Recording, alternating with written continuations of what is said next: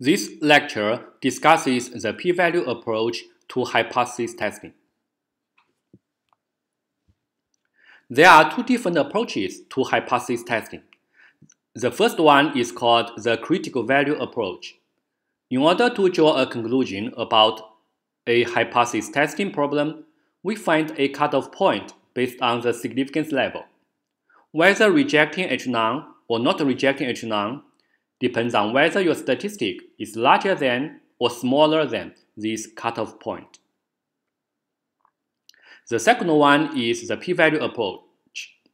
It calculates a probability to evaluate how likely observation of the value obtained for the test statistic would be if the null hypothesis is true. Both approaches are important and commonly used. You need to understand both.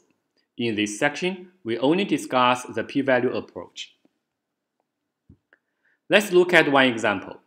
Jack tells Jane that his average driving distance of a golf ball is 275 yards. Jane does not believe it. It is a hypothesis testing problem. The null hypothesis is mu equals 275 yards, which is Jack's claim. The alternative hypothesis is mu less than 275 yards, which is Jane's suspicion. Notice that for the null hypothesis, it usually contains words such as equal. Hence, we put mu equals 275 as the null hypothesis. Because Jane does not believe Jack's claim, Jack hits 25 drives. The results in yards are shown in the slide. In this problem, the sample size n equals 25 and the sample mean is 264.4 yards. The sample mean is smaller than 275 yards. There are several possible reasons that can lead to the fact that the sample mean is smaller than 275 uh, yards. First, the population mean is indeed smaller than 275 yards. Of course, Jack will not agree on it. Second, it is due to random chance. Although the sample mean is less than 275 yards, there are indeed some distances larger than 275 yards. If Jack hits another 25 drives, it is possible that the sample mean is larger than 275 yards.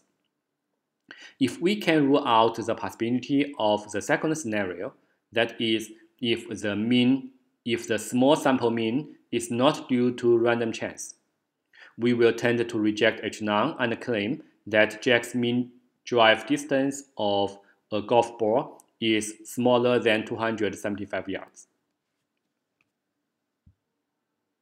The logic of the hypothesis test is that if H0 is true, the sample mean distance x bar should approximately equal 275 yards.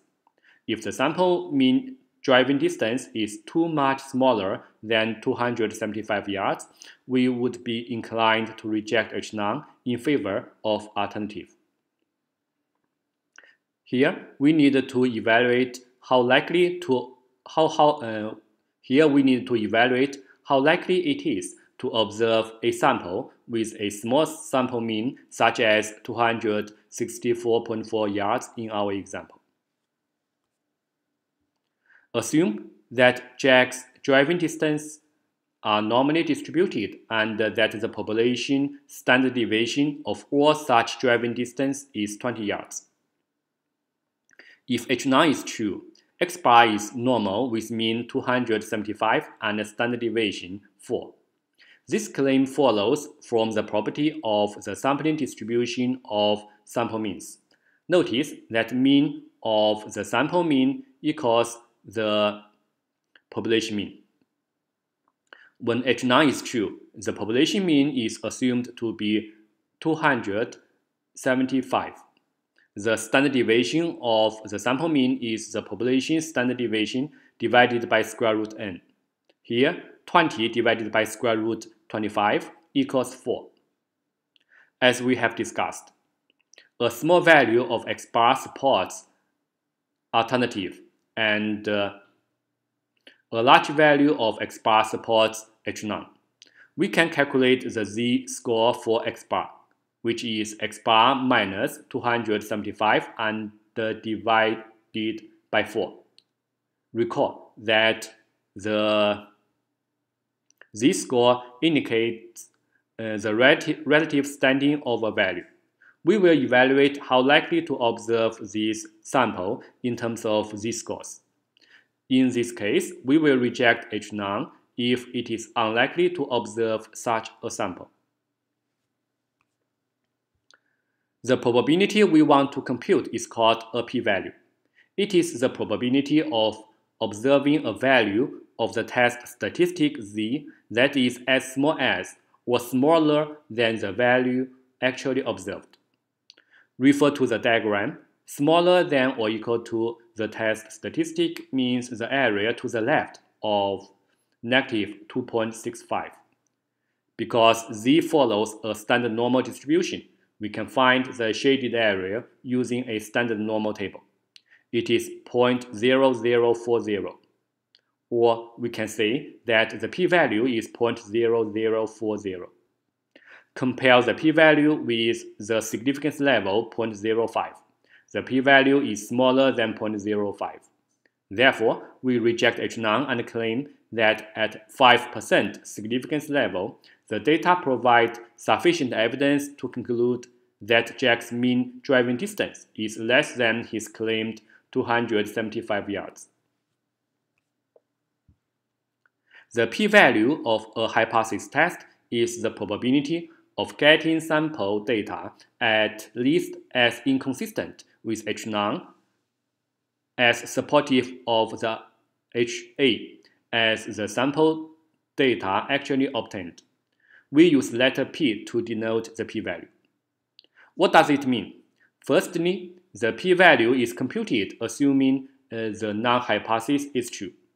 Secondly, how to compute p-value depends on alternative hypothesis. If the alternative hypothesis is less than a value, p-value are computed as the probability of less than the test statistic. If the alternative hypothesis is larger than a value, p-value are computed as the probability of larger than the test statistic.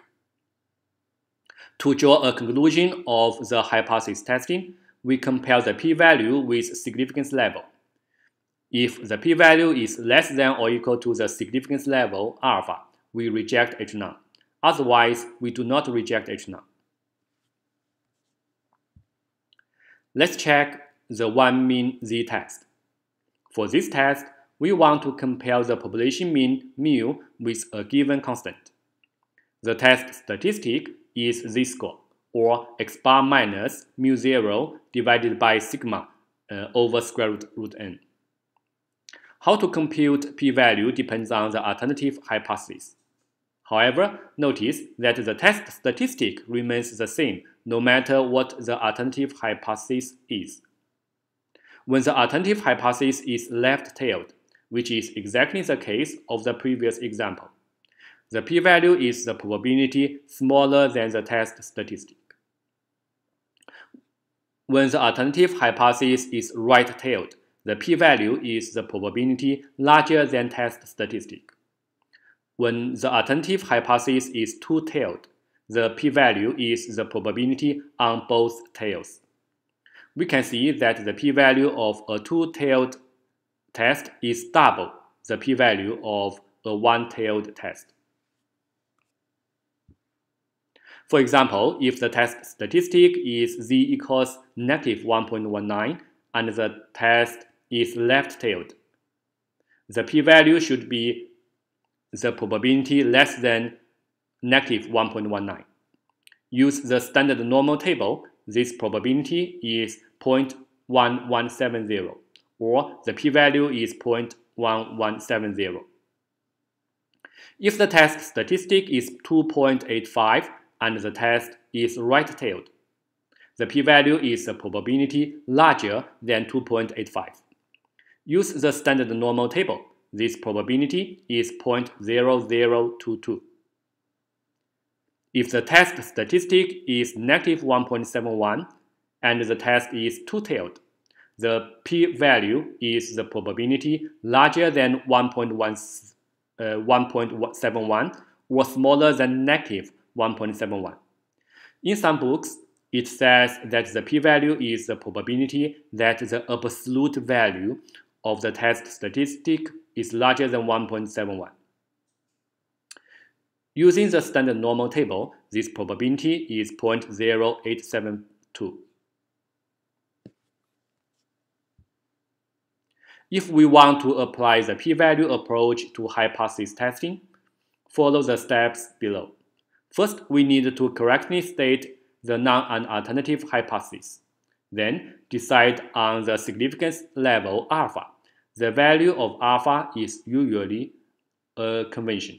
In most disciplines, it is 0.05. Then, we need to compute the value of the test statistic. Next, we need to calculate the p-value. If the p-value is less than or equal to the significance level alpha, reject H none. Otherwise, do not reject H none. Last, interpret the result of the uh, uh, hypothesis test. For different hypothesis testing problems, it is possible that we use a different test statistic or calculate p-values in different ways. However, the above general steps always follow. Many researchers do not explicitly refer to significance level. Instead, they simply obtain the p-value and use it, or let the reader use it to assess the strength of the evidence against H none. The following table lists the strength of evidence against H none for different p-values. When p-value is larger than 0.1, there is weak or non-evidence against H none. When the p-value is be between 0.05 and 0.1, there is a moderate evidence. When the p-value is, is between 0.01 and uh, 0.05, there is strong evidence against H none. When the p-value is smaller than 0.01, there exists very strong evidence against H none.